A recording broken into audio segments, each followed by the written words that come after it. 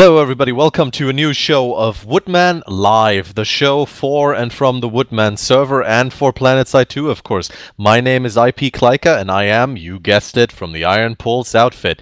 And now we have another new episode. And obviously, we have new guests, because seeing the same few faces every single episode, that's just boring, and we don't do boring.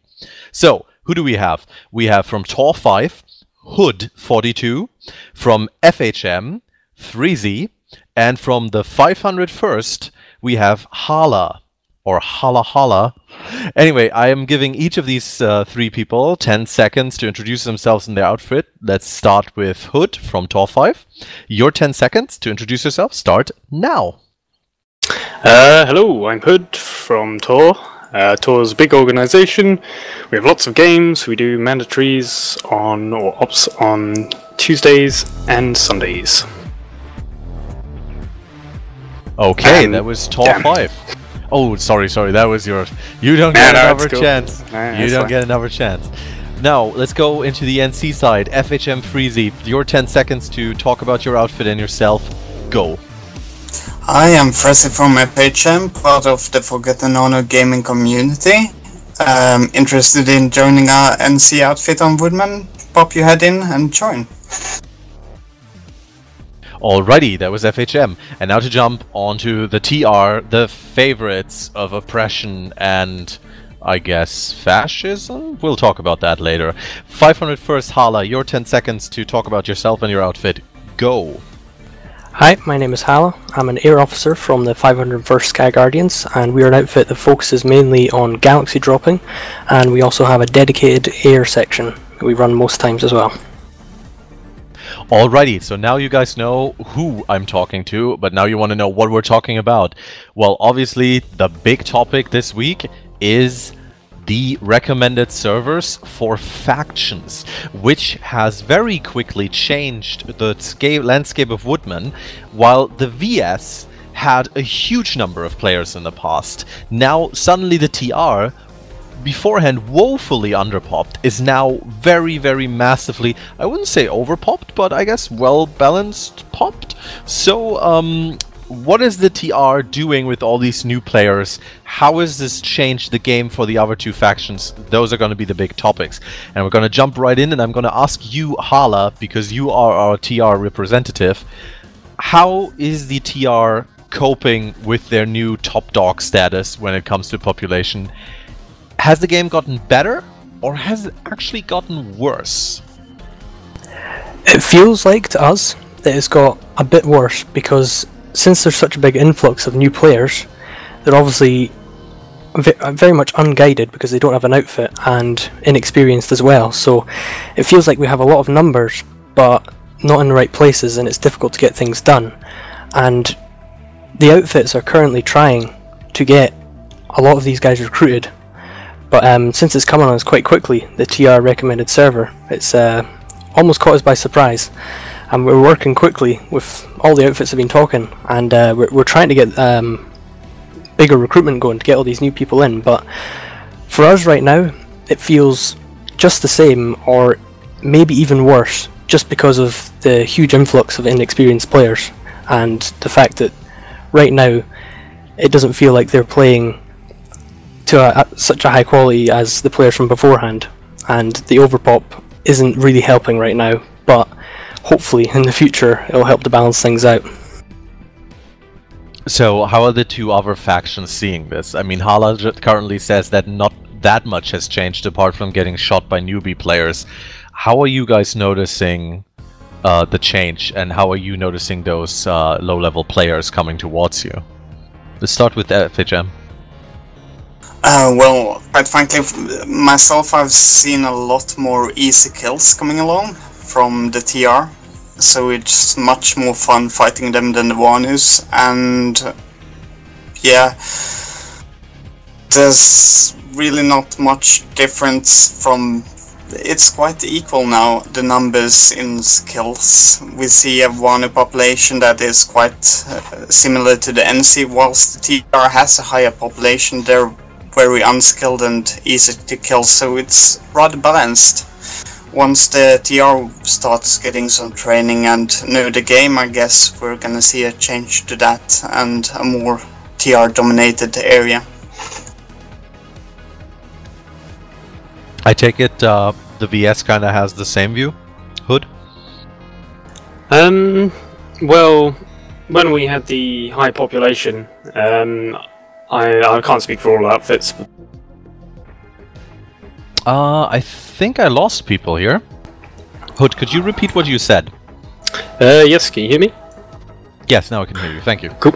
Um, so yeah, uh, generally um, we weren't happy with the high numbers um, because we'd go to a base, and especially on Indar, um, we would just overswarm the base, and then just have to sit around with the Zerg, um, quarantining their spawn rooms and stuff. Um, but logging in the past few days, um, we are kind of the underdogs again, which is where I think we should be. Um, and we've got 26 in our population at the moment. We're outnumbered, and it's Oh, sorry, you're gone again. Ah, well, this is this Like is you a shame. just cut off. I don't know if it's on your part or not. Um, it might be. Maybe my push talk's a bit weird. Maybe.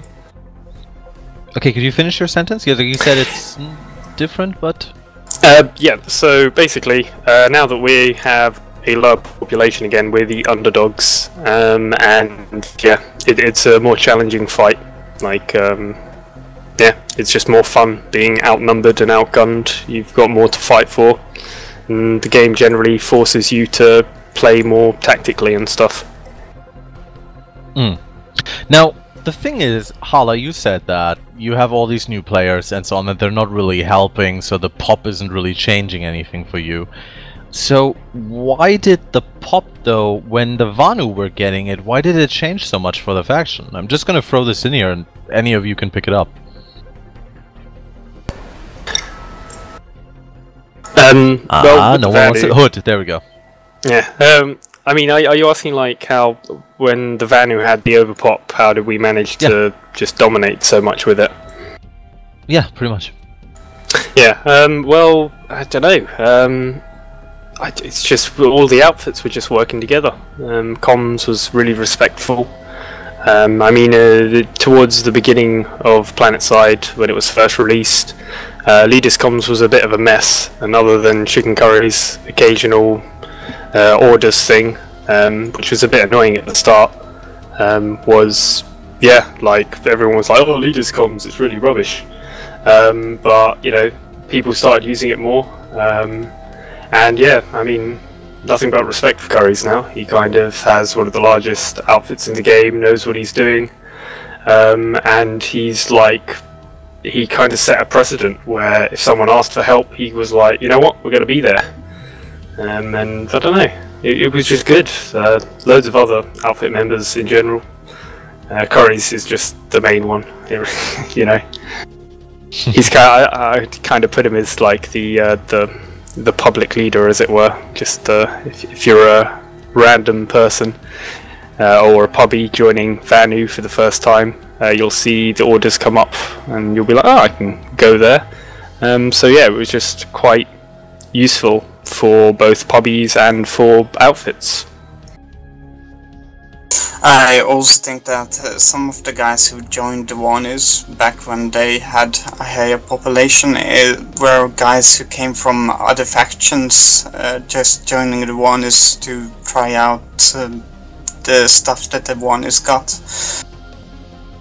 So Hmm. they did have a basic understanding of the game already. Whilst the guys who now come to TR are all really new to the game. Well, what is the TR doing to get those people up to snuff? I mean, that's always something that I ask uh, basically every episode. And we know about the elementary beginning things, but what, for example, does the 501st do to uh, take advantage of this new pop? We're currently trying to run as many public platoons as we possibly can to try and hoover up as much as this uh, massive influ- influx of new players as we can. So we, we try to run our public platoons during the day, and even on our event nights where we play a lot more seriously, we try to have maybe a squad set up where we can have uh, random people joining that as well. And we have an experienced person leading it, and they play with the platoon, so it gives them a good feel of how we operate and uh, how we play, and we find that makes them more likely to um, want to join us if they see us playing very organised instead of a, a daytime platoon. But the daytime platoons do help get a lot of people in, and we started discussing as well some different methods and trying to get people in. But since the overpops hit us very quickly, we're uh, we're trying to get things done as quick as possible. But we've also just really started talking about these things, which is, is making it a bit difficult for us. But the 501st, we are just trying to run public platoons to get people into our outfit as quick as possible, while all these new players are still there, and trying to get hold of them before they get bored of the game because Hmm. they're playing lone wolf or things like that, and they don't really get the full experience of the game if they're not playing with an outfit. So now we talked about how to play with the overpop. I also like talked about that in an earlier episode with the uh, with the VS guys. Now, let's ask the VS and the NC. How do you play against an overpop? Obviously, the NC has the best view on that because you guys had to deal with the Vanu overpop and now the TR overpop. So, how do you play against it? Do you play differently? Um, well, we try to divide up and hit several areas at the same time because if we're gonna stay in one fight against the ones, for instance, before, uh, they're gonna have more population joining in on the, their side. Whilst if we try with strategical maneuvers, try to hit several areas organized and just fastly move over more forces to a different front, we might outmaneuver the the bigger population. Okay, well, uh, Hood, um, why don't we go over to you and you give us some insight on how you feel that the Vanu are now fighting against the TR? Are you actually fighting against an overpop or are you fighting against more of an equal force? Yeah, so uh, if I'm platoon leading, I'll specifically go for a base where we are outnumbered um, and try and use some sort of strategic strike.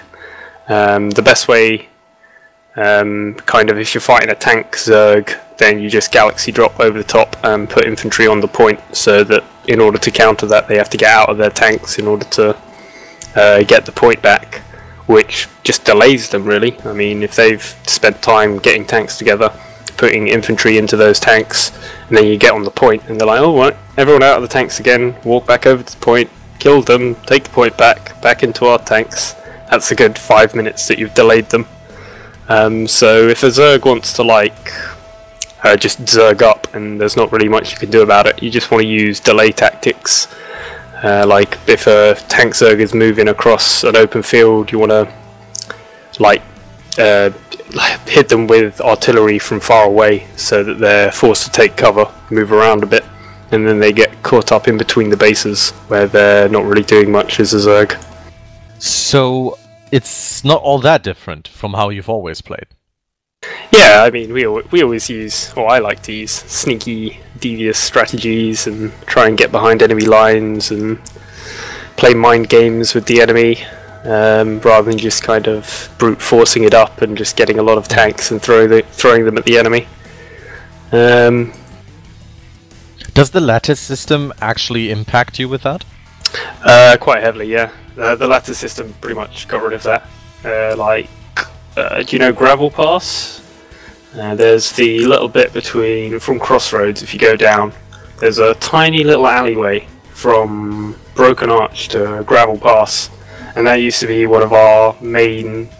Like our outfit would use that all the time once we'd got uh, Broken Arch, rather than trying to get Tawrich Tech Plant um, bases like uh, Rust Mesa Mesa Coms, which are just like on top of a mountain that you can't get to with tanks, are a favourite as well because we could just galaxy drop onto them, hold them with maxes, and then it wouldn't matter how many forces the enemy had, you could just put a 10 people with maxes um, up there and the enemy would just flow into you.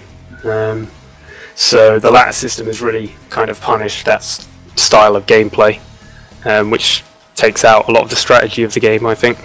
Hmm.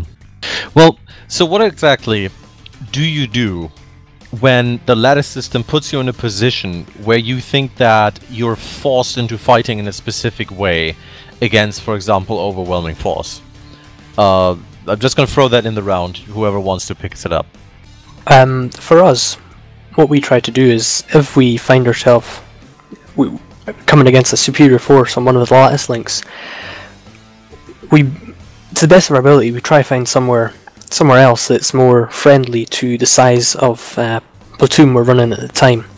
So if we're coming up against about three Vanu platoons in one one uh, route, and um, we only have maybe a couple of squads ourselves and maybe a few squads of randoms backing us up. Um, personally, we'd either try to harass them between bases, as Hood from Top 5 said that they do, or we try and find an area where we could be more effective with the numbers that we have.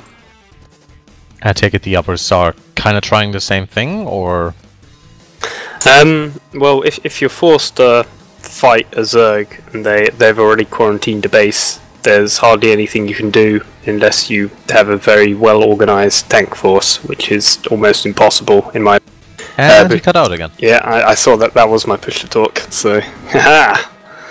Um, I, I will definitely change that in momentarily now. Anyway, so if you are, yeah, if we're if you're trying to fight some uh, a Zerg that's already quarantined a base, uh, approaching them head on is very very difficult to do. Um, but what you can do is you can say, you know what, we've lost this base. Go to the next base. We're just gonna meet them there with whatever rocket launchers you've got, and just focus fire each vehicle as it comes one at a time. Because normally Zergs will just, be, you know, the the someone will be like, oh, got my points. I'm moving out. I'm the first one on the scene, and then they get blown up, and next person comes along, they get blown up. And you don't manage to stop the whole Zerg, but you definitely chip away at the numbers. So Yeah, and getting rid of the enemy's tanks, Sundays, and the aircraft before they hit the next base is really the best strategy of uh, hitting a Zerg really hard. So, does the NC have specific approaches to the game at the moment? Because I always read about stuff where it's like, oh, the NC rather fights the TR because it's so boring to fight the VS, or because the VS is so overpopped. But now that the TR is overpopped and the VS has tons of population, what is the NC doing? Oh, well, at the moment, I don't mind fighting uh, the Wanus or the TR. It's fun fighting both of them. The TR because they have a lot of pubbies that are easy to kill, and the Wanus because they're rather equal to us in numbers. So it's good fights all around for us right now.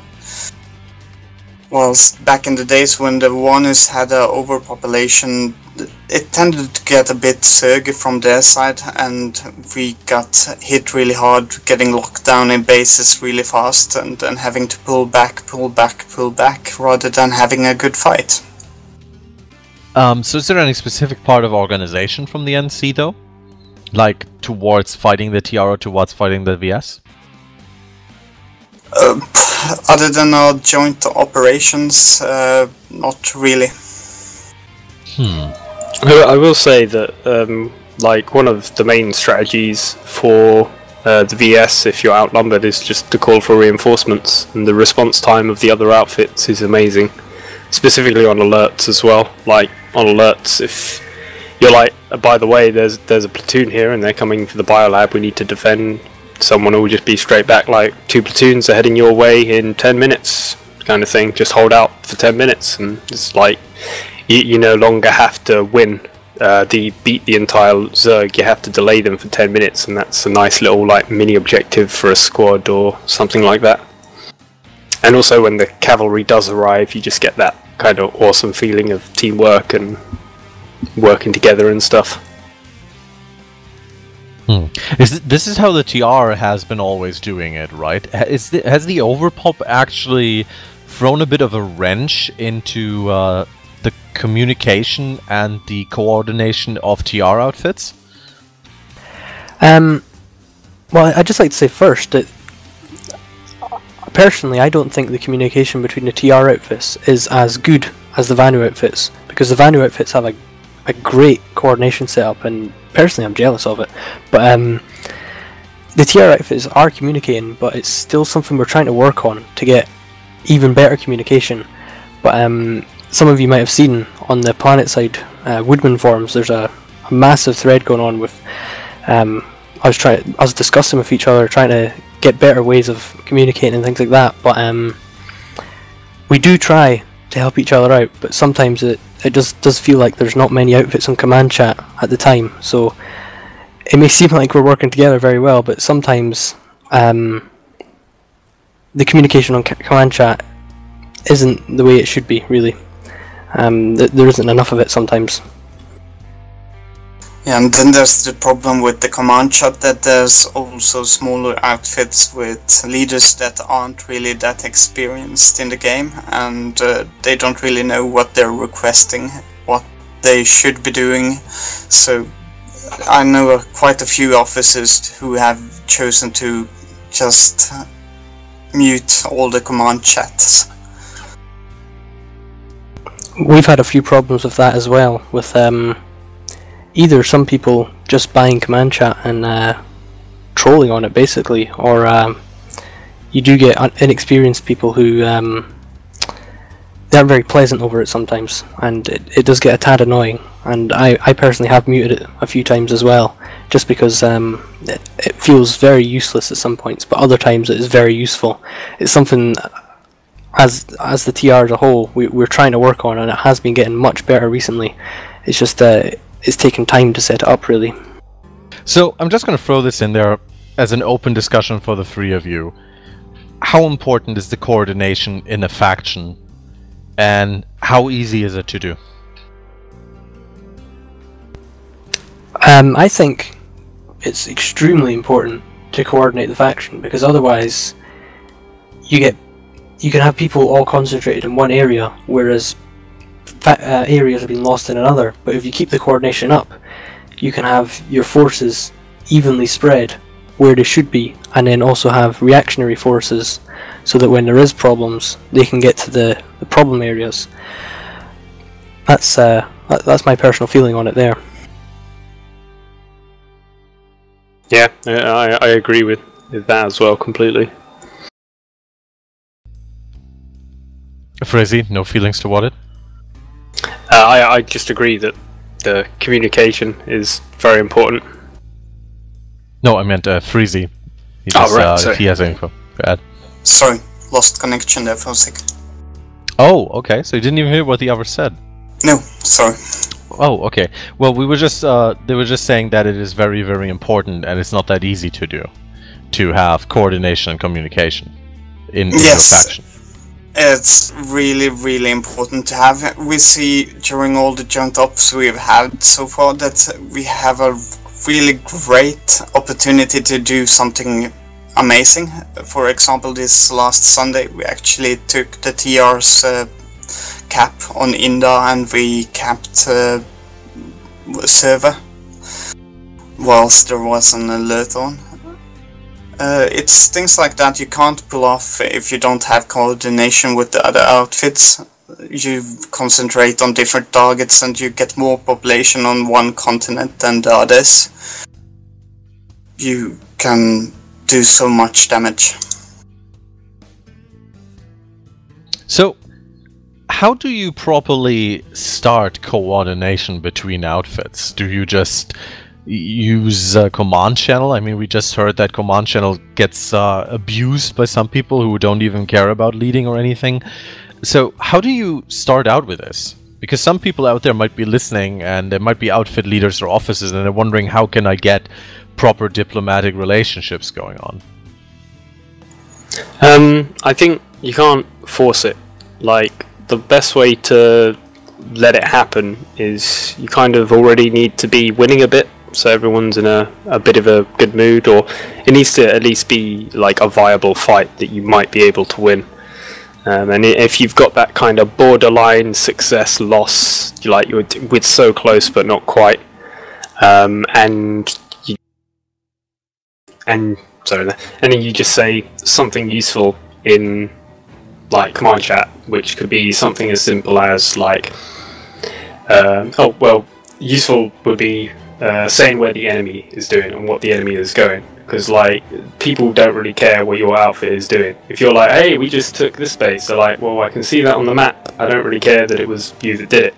What people really care about is there's an enemy tank Zerg heading for this base, um, and they're just at this other base. So if you go here, someone can counter it. Like we can't do it, but there's some useful information on enemy activity, um, and then hopefully someone out there will pick it up and say, you know, thanks. And then anyone else who's listening in will be like, oh, people are being respectful on command chat, and it will kind of just happen naturally. Um, but I don't think you can really force it too much. Yeah, I agree with Hood there. That um, it is something that do, it does. Although command chat can be abused sometimes, and it can get a bit annoying.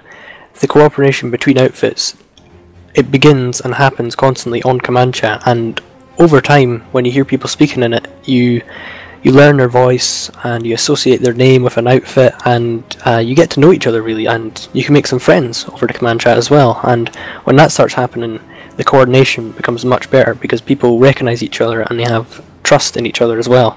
That if they ask for an outfit on their side to help them, they know that they will try their best to help them and hopefully bring them to some some sort of victory.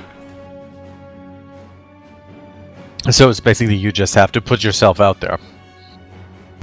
Yes, I, I, I think that putting yourself out there and other people putting themselves out there and just getting to know each other in command chat helps with the cooperation greatly because you just get to know each other and you trust each other. Hmm. If each one of you could ask for one feature to make communication in general or also just command chat related or whatever, just communication easier in the game, what would you like to have added? Um, I'd very much like to see um, the text-based uh, command chat improved because you can do slash L and uh, talk on the leader's chat just through text.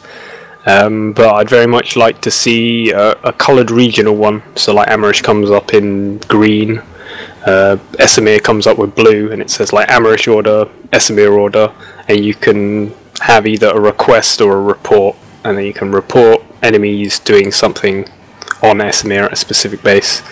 Uh, just because like if I'm fighting on the field and I'm trying to platoon lead, I'm listening to two or three voices already and trying to throw information around, and then I have leaders comms on top of that, just butting in, and then I can't hear anyone, and it just becomes a horrible mess.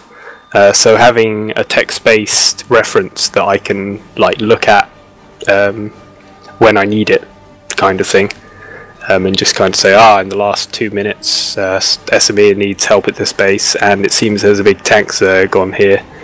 Um, and the color thing is mainly like if I'm shooting and playing as well, uh, the color thing will come up, and like subconsciously you'll just kind of learn to ignore the purple ones or whatever if you're on the wrong continent, and you just learn to be like, ah, green thing, that's related to Amerish, so better concentrate on that.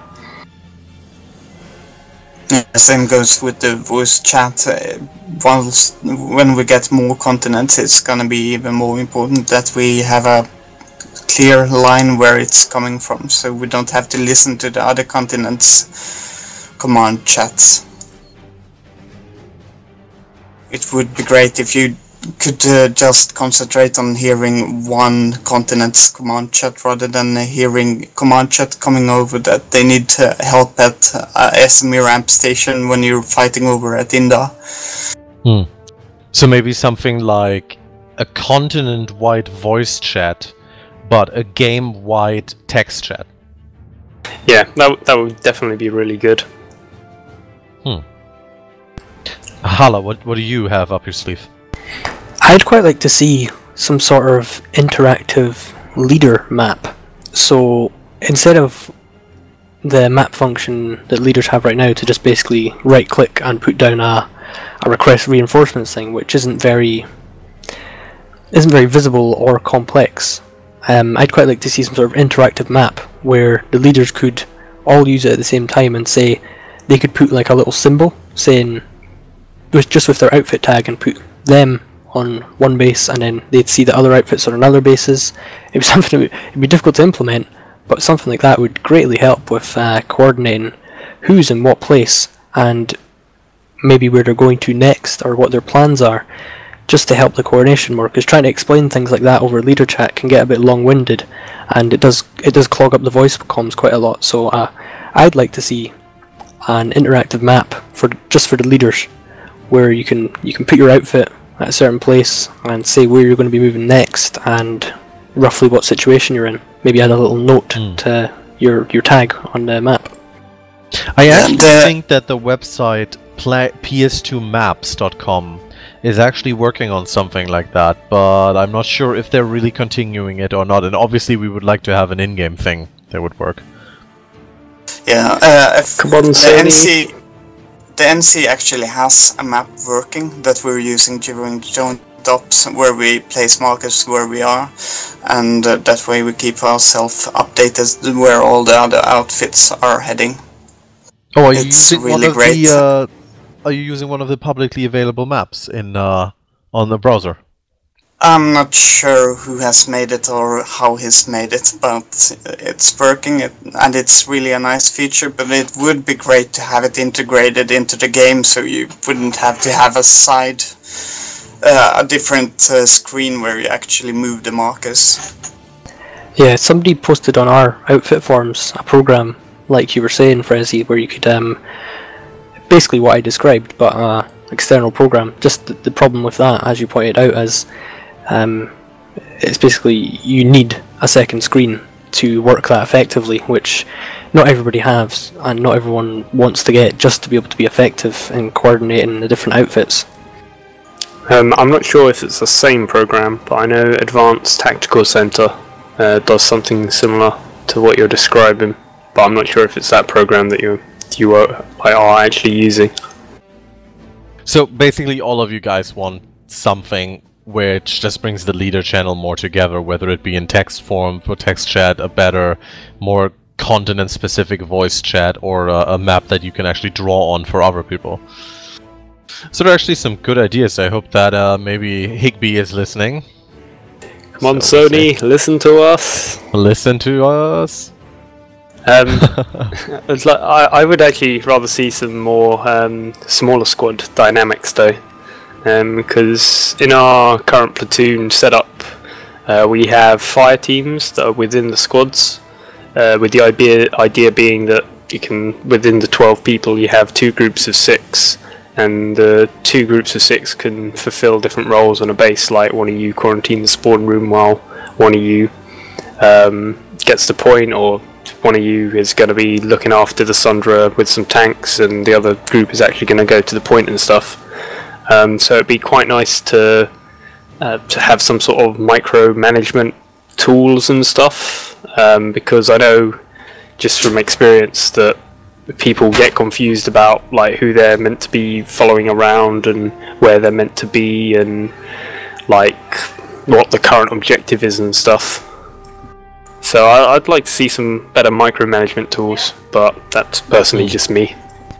I agree with Hood there because we also run a almost identical fire team system in our infantry squads where we have two groups of six, each with a, a commander who's led by the squad leader, and we find that the our TeamSpeak can get very cluttered because we have a channel for each squad, and when you've got fire team leaders trying to dish out things, both of them at the same time, it can get a bit cluttered, and micromanagement in game would make things a lot easier, especially maybe just some extra waypoints. That would be a, a great start. Oh yeah, yeah. but One thing about that, if the platoon leader could see all of the current squad waypoints that squad leaders have put up, that would change everything. And it true. would be so easy as well. I also feel that the smoke is a good idea, but the way it works is just badly implemented. It doesn't render really far, and uh, yeah, it's, once it's again 300 the- meters. But for Yeah. me, what also, what's also a big problem is that I can see the smoke that someone else has put down. So if if if we both are running squads and I've put down green smoke, and another squad leader puts down green smoke, and then I say there is an enemy Sunderer at the green smoke, then my guys are going, which one? it's just a bit. Eh. Yeah, and 300 meters is really too short. I wish it would be longer, especially as I run uh, air squad.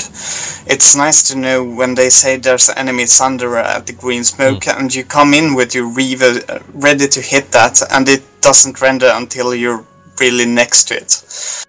I So- feel that, in in my personal opinion, I feel that they added the smoke in. In, in, in a way that they thought, okay, like squad leaders or people can use that while fighting inside a base, you know, like like in a, in a smaller area, which is why the 300 meters work, and they can use it to mark specific stuff, which is a good idea. But the problem is they had to implement that cooldown because otherwise people would just spam it and since everyone can see it it you know there would be the, the whole fucking map would be covered in it but that also kind of just completely destroys the proper use for it.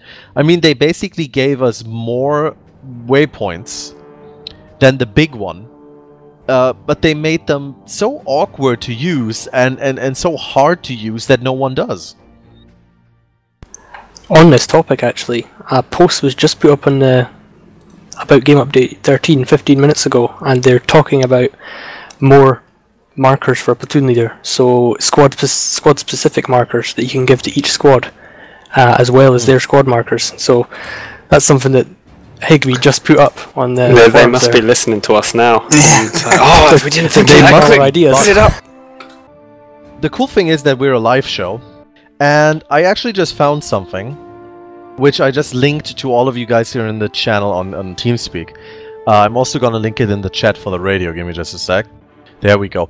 Now this is a picture, or rather multiple pictures, of apparently the implants, which are going to be added to the game.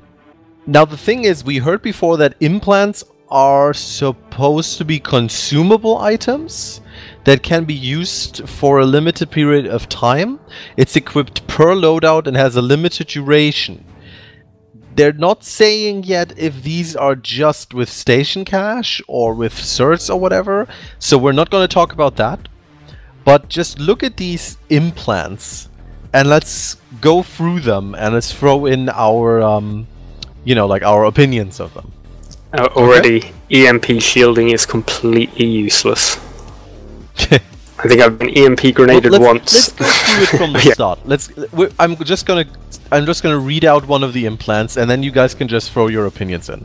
We're starting out with awareness, which automatically spots enemies who damage or kill you, and it also automatically spots enemies that you damage. I think it could be useful in this the second part of the description where it's spotting people that you damage, because that means you you're not having to constantly hit your Q key to spot people. Whereas if you damage somebody, you instantly spot them as well. But the the first part where the especially for infantry, if your enemies are getting spotted when you're getting hit by them, usually because infantry is quite very quick with little battles, you might you're, you're probably dead, but when you can when somebody's spotted and you're dead, it's it is useful to your for your squad, but um not so much useful for yourself. So it feels like a very squad based thing.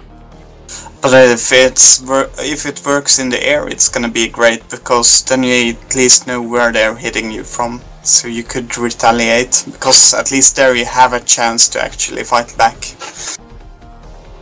yeah, Uh, by I- the way, sorry, just just a quick update. I just read, by the way, that implants are going to be bought by certifications and station cash. So we're not going to talk about that, but just to make it clear. um, okay, uh, keep going. Yeah, so uh, with awareness, I, I definitely like that. Um, and then I'd probably just have that on my heavy, my front line heavy, who's constantly just being the first one on the field and dying. But don't worry, I have my medics who are there to revive me again. But yeah, that, that seems quite useful. So the next one we have is called Battle Hardened, which reduces the camera shake from all explosions, and it also reduces the flinch when you're hit by enemy fire. Now, quick note: uh, the flinch was actually reduced a few months back from uh, how high it was before when the game released and so on. So now you have an implant to reduce it even more. Uh, it's alright. Maybe. I, I don't think it's going to be as useful compared to the, the awareness one we just discussed because Mm. personally I don't have many problems at all with flinch. As you said, they they reduced the flinch um, not that long ago, and it doesn't. I don't feel like it affects me very much. It feels like it'd be a very if some if it did affect if it did affect somebody quite personally, like uh, if they had trouble with the camera shaking and things like that, obviously it'd be good. But in, from my experience, I I haven't had problems with flinch that much. Yeah, and the camera shaking from explosion doesn't really last that long and doesn't happen that often. Not enough to actually have an implant for. I, I can see its only real use if you're um, specialising in dumbfire rockets um, against tanks, because then you are going to be in and around explosions quite a lot, and you need to be quite accurate with the dumbfire rockets. But even then, if you're still getting some camera shake, then the reduction doesn't really matter. You just need to time it better in the first place. So, yeah, meh. Hmm. Next up, we have the implant called Clear Vision. It protects you against concussion and flash grenade effects. And someone in the chat of the radio just actually asked a very good question. Can Maxes use implants? Because a Max that's immune against to flash grenades and concussion, that seems pretty strong. Yeah, concussion grenades are one of the my favourite things. I've maxed out grenade bandolier and concussion grenades for my heavy. Um, but I don't. They're not used against me often enough. I use them against enemies loads, but not against me. I hardly ever see it, so I'd probably ignore that one. Yeah, they're really underused. I don't understand why not more squads use them. It's a great weapon to use. Throwing in a concussion or flashbang and then running in with your team. But at the moment, yeah, as you said, not many use them, so I wouldn't get that implant. I think it depends on. They, they say protects, but it's not very clearly defined. We don't know if it's protects as in nullifies and completely um, takes it away, or if it just has a lesser effect on you. Um, I think that's something that we'd have to wait and see the full effect of it. If it if it does completely remove the effects, or if it just nullifies them. Uh, sorry, uh, just um, reduces the effect of them, but you still get some of the effect. Because concussion and flash grenades, if used properly, are extremely effective, and you can catch a whole room out if you uh, if you get the, the right placement of it. I would like to point out that you can actually use this if it protects you completely, for example, as an offensive tool. You can be a heavy with a concussion grenade, and you can literally flow, throw a concussion grenade at your own feet. Yeah, that that's pretty deadly actually. Yeah, Or that's- if you light assault with flash grenades, you don't have to wait for it to explode, you just throw it while you're running into the room. Yeah, and if you got three of them, then you, as soon as it runs out, Yeah. pop another one, and you're like, Yeah, you alright. just pop another going. and another, yeah. Yeah, I didn't think of that. That would be Yeah, that's pretty deadly. if it if it did work like that, that would be used and abused. Like, uh, I mean, especially I, the concussion grenade. I mean, it's such a quick affair to throw it, but obviously when the guy comes around the corner and you throw it, you're gonna hit yourself, so it's kind of wasted. But if you're actually immune to it, that really seems strong. But we'll see. Next up, we already kind of talked about this. Uh, there's one called EMP shielding, which protects you against EMP grenade effects. Uh, I think we can all agree that EMP grenades are pretty much never used. Yeah, I, I yeah, in my outfit we got we got used against it once I think, and someone was like, "Oh, my screen is broken or something. It stopped working. Help me!" I was like, "No, no, we've been EMP Yeah. grenade." It's like, "Huh?" Well, I guess we can just gloss over this one because it's pretty much the same as Clear Vision. But again, you can technically also use it offensively if it actually protects you. Slap it on your infiltrator, run into a group of enemies uh, cloaked, throw the MP grenade, everyone loses their shields and stuff. Could work. Okay, let's move on to the next one. We have Enhanced Targeting. It enables an enhanced targeting HUD that displays the health of any spotted enemy that you target. It also increases the range of the IFF system from 8 meters to 25 meters. I, I would say that's slightly useful, maybe? for infantry, I'd say not so useful because sure, if you know your health, your enemy has low health, it'll be you know it'll be an easier fight, but you still don't want to un- underestimate them because even though they have low health, they can still take you out pretty easily. Um, I think for infantry it wouldn't make much of a difference, but for vehicle um, fights, I think that would make a huge difference because, as we all know, before you used to be able to see the health of an enemy vehicle at any range, but now it's only a very, very short range. So I think it could be quite useful for vehicle drivers and pilots as well. Hmm, hmm. Yeah, especially pilots. When you see a Liberator that's low on health, you're gonna go after that. But if it's full on health and you're slightly hurt, you might not tend to go after it if you uh, also have low ammo. So you know you couldn't bring it down. Okay, we're moving on to the next one. Um, the next one is called EOD HUD, and this actually seems kinda okay. It allows you to detect any enemy explosives within a 5 meter radius. So that's gonna be uh, tank mines, uh, it's gonna be uh, proximity mines, and C4.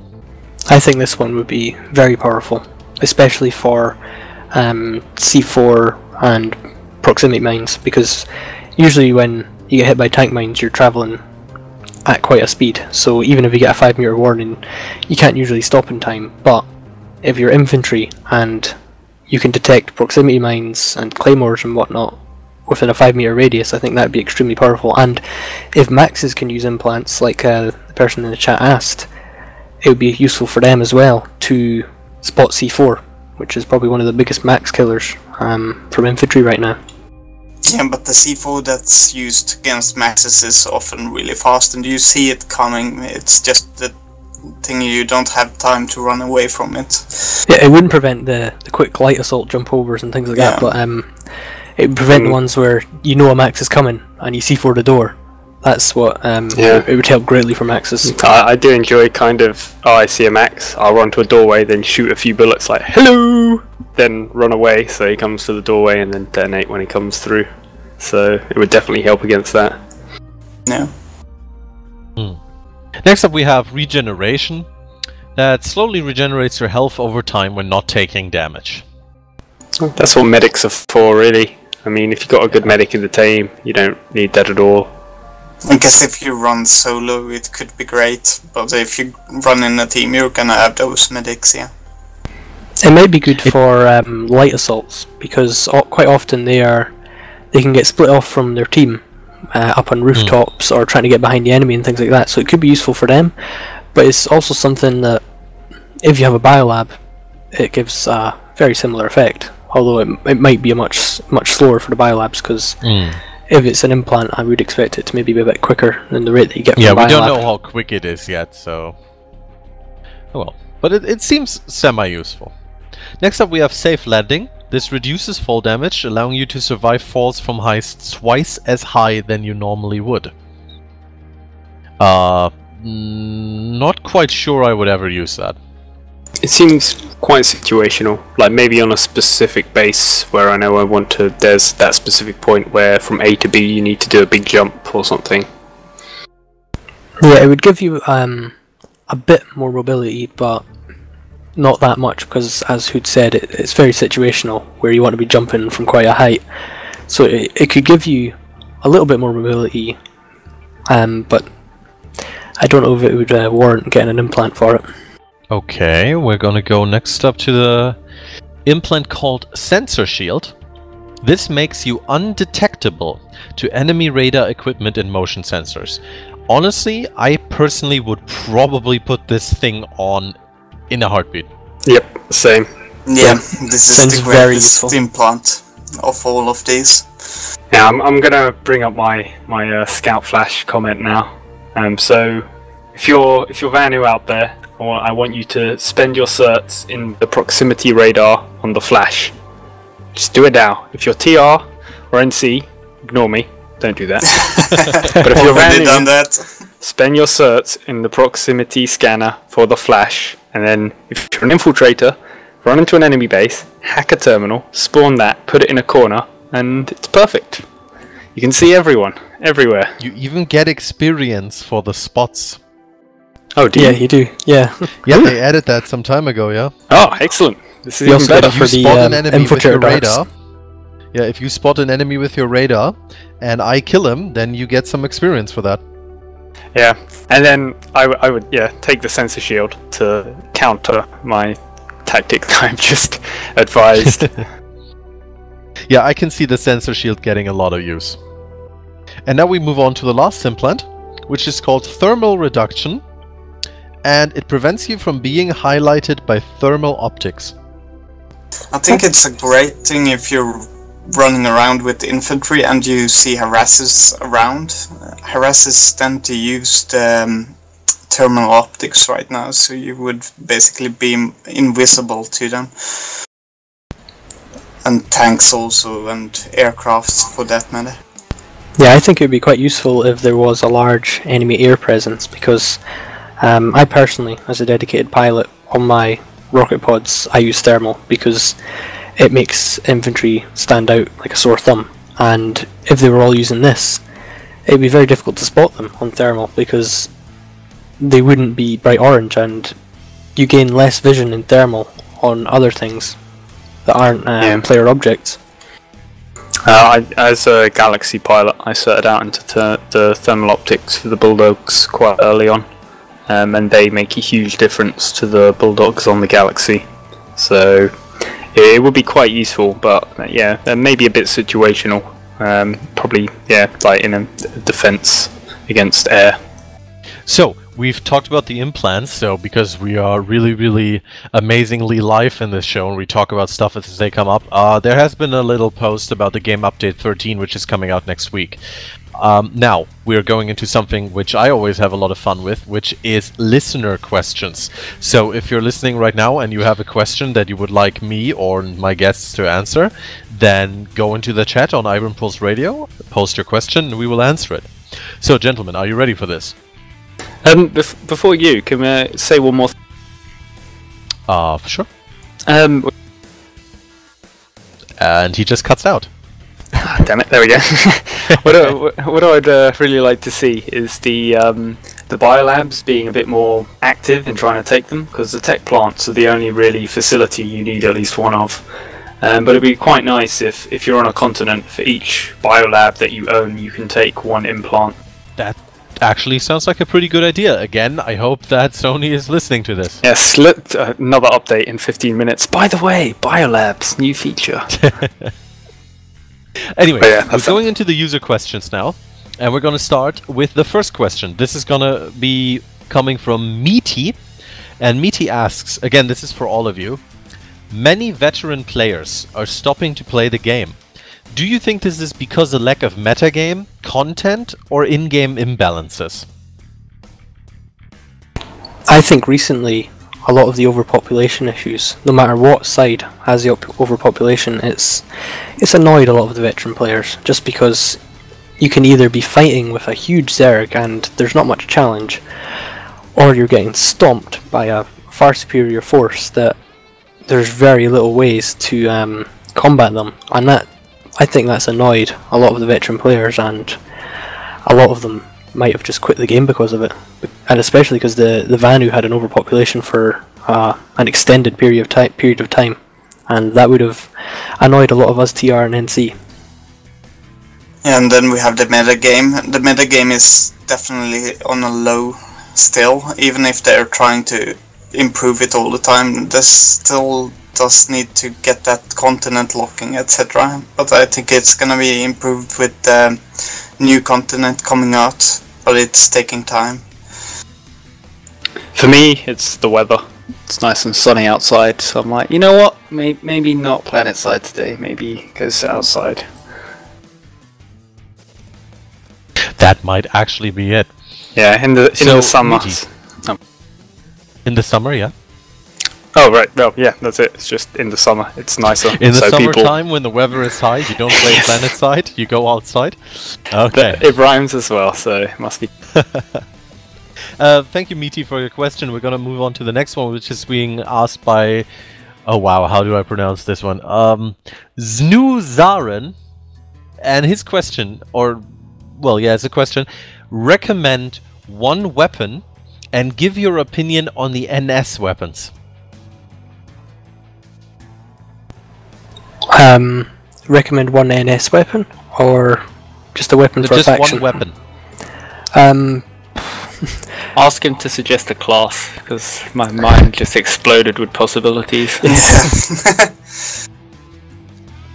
Well, um, personally, I quite like either SMGs or shotguns, mainly because they go across all of your classes except from shotguns on infiltrators, but it gives you um, a nice broad scope for close quarter combat on all of your classes if you buy either an SMG or a shotgun.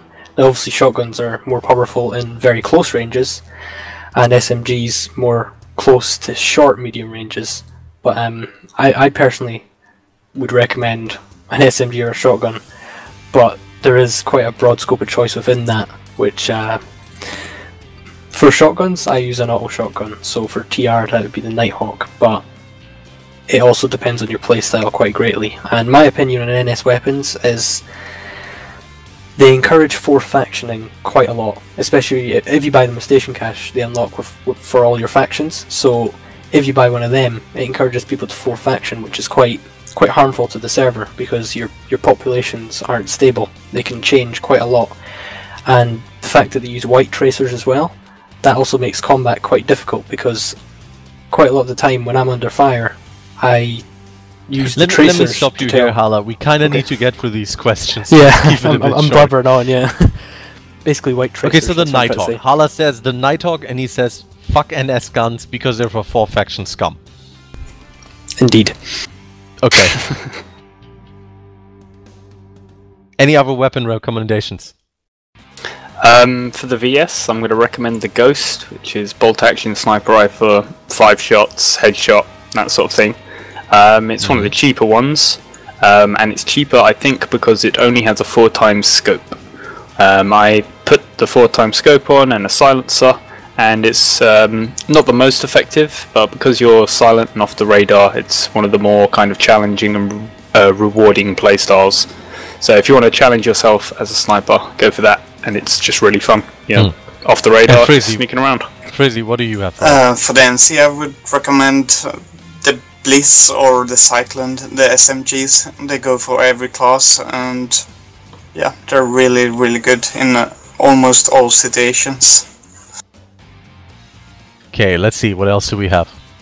Oh, here we go. This is a good question. This question from uh, Yoshino. He asks, "Who has the sexiest voice in your faction?" Me? I think. I don't know. The the player in game voice? Because Uh, I, I think I think he means the voice of a person, of a player. I'm just, I'm just going with curries. Curry. Chicken curry. I think for TR, I'd have to say um, a long story because it's uh, also very distinguishable. His voice as well. Yeah, if you want to hear his voice, he was in last uh, last week's episode. And for the NC, who's got the sexiest NC voice, Fresi? Oh, really? I, I can't figure out the name for this. There's so many voices that should be mentioned that I'm not gonna mention anyone. Okay, let's see. Um, let's let's take this. Uh, Yamix would like to know, and he wants quick answers, so no blabbling, guys. The lattice, good or bad? Good, I don't but like it it either. needs it needs changes. It could be good, but yeah, as Fresi said, I personally I think it needs more routes. It feels too directed right now. Yeah. Okay, uh, and same. another question. I'm not quite sure who this is from. I think it might be from Hobo with the chain gun. He likes considering overall consistent performance. Which outfit would you pick as first among equals?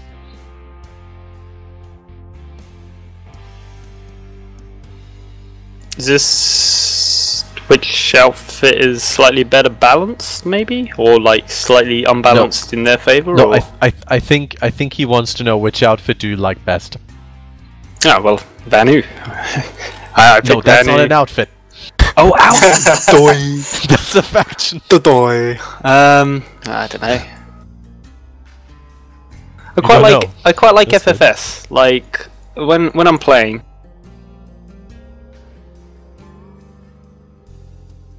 Uh, I think you are not pressing your button again. Ah, right. Sorry. There we go. Um, yeah. I- this is this is a repeating theme for me. Um, oh, and I have to edit all of this later on. And he's not doing it again. no, I, I, I was I was doing it that time, so maybe it's not the push to talk key. I think it is. Anyway, so you really like FFS. Yeah, because like And he's not talking. I got the car. Anyway, okay, so he really likes FFS, and we're leaving it at that. Fresi, what's your favorite outfit?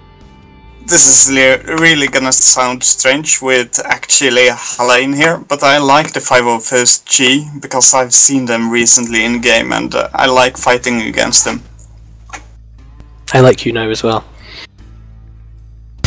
Uh, I, I personally feel I, I have great respect for IP because I see them running very organized ground squads, and recently they've also been running uh, organized air squads as well. And They do- shucks.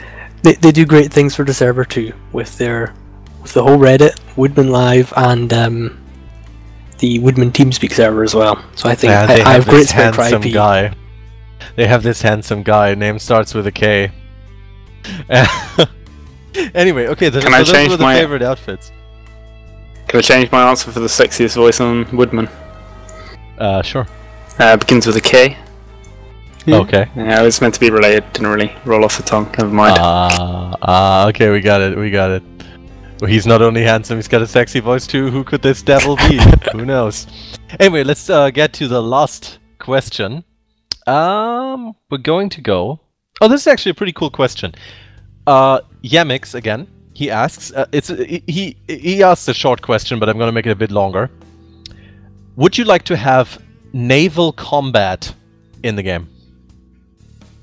Yes, definitely.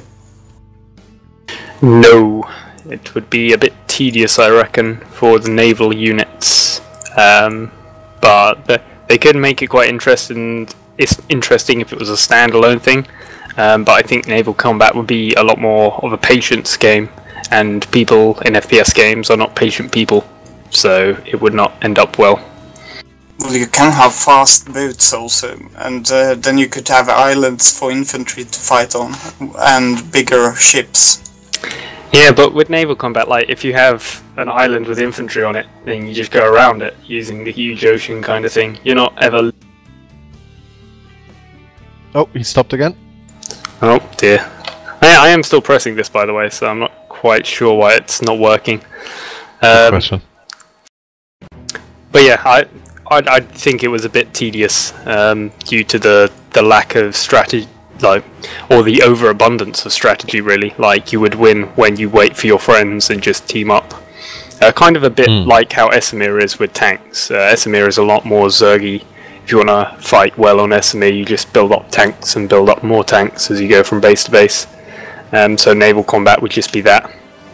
Well, with naval combat, you could have boats where you ferry away with infantry to islands where the bigger bases are that the infantry have to take over. So then you couldn't actually drive with, um, like you now have tanks driving up to the bases. You can't have the ships actually drive up to the bases. So that could be a kind of cool feature. Yeah. Okay, we're gonna end this here with one last question, which is just gonna be very quick. Describe the other factions in one or two words. Hood. Do I have to go first for this one? Yes. I need to think. Um, okay. Okay, then we're going with Haala. Um, for Vanu, I'd say organization between outfits, and That's for three words, you're out. oh, No, I'm just joking. okay, so for Vanu, organization between outfits, and for NC, I'd say organization within outfits. okay, and Fresi. Uh, for TR, a lot of pubbies. For the Warners, um, annoying scythes. and Hood, you had enough time to think. Come up with something good. Okay, for TR, it's too many bullets. And for NC, I'm just going to say I don't like their armor really. Like the everything just has more armor and stuff. Like their tank columns are too good, but Too much armor. yeah, too much armor. Too much armor. Alrighty, and with that, we are actually at the end of this uh, week's, or well, of this episode of Woodman Live, and we're going to finish this off with me giving each of my three guests, uh, first of all, my thanks for showing up. Thank you guys very much for being here. Uh, we had a pretty good discussion going on, I think, and a lot to laugh. Also, a few technical problems, but I think they added to the charm of this whole thing. And, you know, I mean, I am a Vanu, so maybe it was just me trying to enlighten you a bit, and you guys didn't take to it too well. Anyway, we're going to finish this off with uh, me giving each of you 10 seconds uh, to say whatever you want. Just whatever you want. You can say it. It's, it's, it's there. People are listening. So, Hood, your 10 seconds to do whatever you want. Say whatever you want. Go. Um, this game is really good. It's like an army sandbox. You need to be part of an army though. Come join TAW or anyone else on the IP or just generally an outfit in general. Woo! PlanetSide. Scout radars. Scout radar flashes. And Fresi, you get 10 seconds to say whatever you ever wanted to say. If you want to ask someone to marry you, now is the time. Go. Play NC or go home. That's it. yeah, that's To the pretty point. good. Touche, good sir. That's it. And Haala, you are going to end this episode of Woodman Live. Your 10 seconds live now. I'd like to thank Klyka, our host, for organising these Woodman Lives, and I'd like to say, Freedom! I'm Scottish, by the way. It's pretty weird hearing a TR shout about freedom, but that's what you get at Woodman Live. So, thanks to my guests and thanks to my listeners uh, very, very much for being here. And uh, I had a lot of fun, and I hope you will join me in the next episode of Woodman Live. See you then. Bye bye. Hoorah. Bye!